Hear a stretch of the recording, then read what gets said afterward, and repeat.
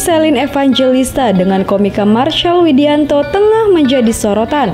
Kedekatan keduanya membuat publik mengira adanya hubungan spesial di antara Marshall dengan mantan istri Stephen William ini.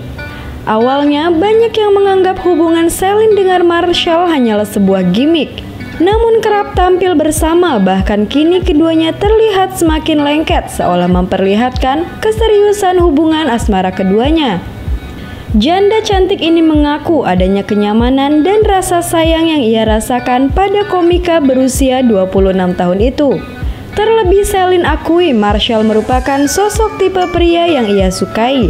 Kira-kira seperti apakah hubungan Selin Evangelista dengan Marshall Widianto? Benarkah keduanya akan melanjutkan kisah asmaranya ke jenjang yang lebih serius? Kalau ditanya seriusnya jangan ditanya seriusnya, ditanyanya uh, sayang atau enggaknya nah, gitu ya, kan. Kalau ditanya seriusnya kita kan sama-sama saling menjalani aja satu sama lain ya. Berdua tuh menjalani aja gitu jadi nggak ada kepikiran gimana-gimana. Tapi kalau ditanya saling nyaman, saling sayang, ya pasti itu udah pasti. Berarti yang bikin nyaman dan sayang itu apa sih? Karena kebetulan dia keluarganya dulu pengrajin bantal kali ya. yang bikin paling nyaman, yang bikin nyaman tuh karena Acel itu baik banget. Acel itu uh, orang yang baik banget. Dia tuh sangat uh, apa ya menghargai wanita.